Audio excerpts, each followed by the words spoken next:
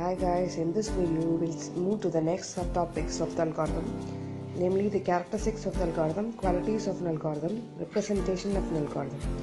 See, if, if, uh, if this algorithm asks for 2 marks, you have to write this definition of an algorithm, the first topic, which consists of the definition, characteristics and an example of an algorithm. Okay, this is what you write for 2 marks. Whereas if the same question algorithm is asked for 8 marks, we have to write characteristics of an algorithm, qualities and representation with a definition of an algorithm. In this case, it is uh, it is it is enough that you write the definition alone because you want to explain other three topics in detail, right? So for 8 marks, only the definition and followed by three subtopics. Okay. Now in this video, we'll see what are the three subtopics. Okay, this is the characteristics of an algorithm which consists of the simple six characteristics. First one is each and every statement should be precise and unambiguous. Every statement has to be precise, precise in the, in the meaning. It has to be short and simple. Unambiguous means it has to be clear. So every statement in an algorithm has to be short, simple and clear. Okay. The second point, the statement formation should be in normal English. Okay, every algorithm has to be in normal English. It has to be written in sequence.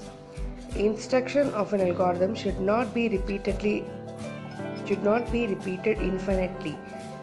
Okay, they mean to say instruction should not be repeated. And the next point is ensures that algorithm will terminate ultimately. So every algorithm ha- should have a termination step okay? We have to get the desired output only when the algorithm terminates. That is the sixth character. I'll again repeat every statement has to be very simple short and clear. Statement should be written in english. It has to be in sequence. The instructions should not be repeated and the algorithm should be terminated we have to get the desired output only when we terminate. Okay these are the six characteristics of an algorithm.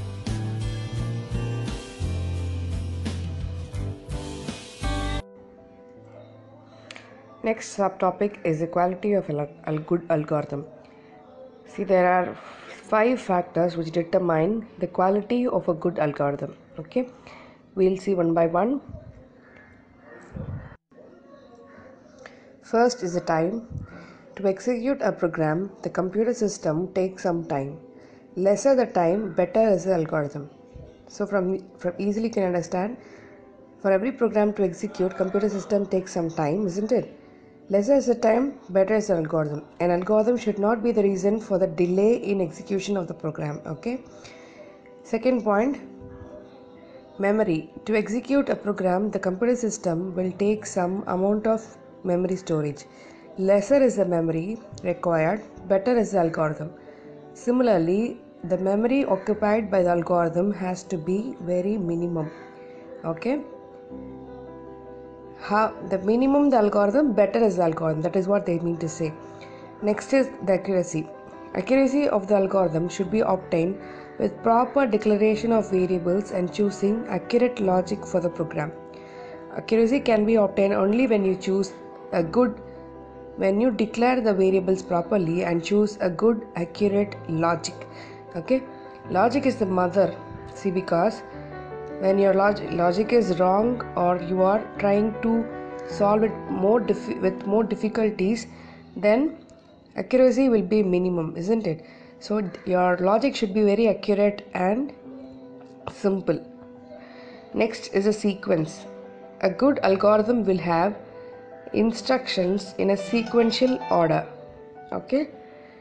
Next is the generability every algorithm must solve a single isolated problem and more often algorithms are designed to handle a range of input data.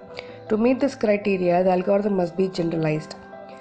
What do they mean by the term generalized? See algorithm is that you write it only once okay? But the when you convert it into a program it has to accept wide range of inputs okay it should it should, uh, it should not be restricted with one or two inputs it has to handle wide varieties of input. That is what they mean to say with generability.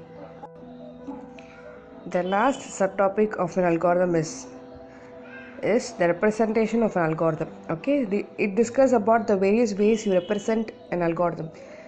Okay, first is a normal English, second is a flowchart, third is pseudocode, fourth is decision table, and the fifth is uh, is the program. Okay?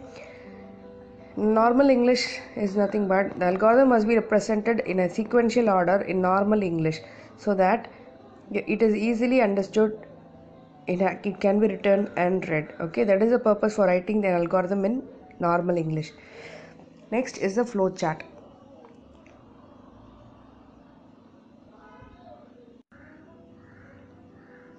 next is a flowchart flowchart is a pictorial representation of an algorithm as you know Pseudocode it is a formal design tool design, utilized to represent an algorithm.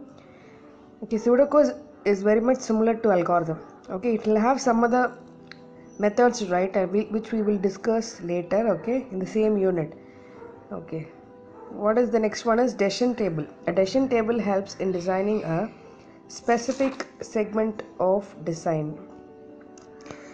Decision table is nothing but it will have a true false true and false will combine together will form false isn't it? True and false i mean true false if you use or it will give you some other decision. If you use and operator it will it will give you some other decision is it not? That is nothing but the decision table. Okay using the boolean values. You have to decide on the result with with respect to the operators either it is or or or and. Okay that is nothing but decision table. Similarly program. An algorithm can be represented as a program using a high level language which becomes a program again. Okay so these are the five ways of representing an algorithm which is normal english flowchart pseudocode decision table and a program. Okay these are the five representation of an algorithm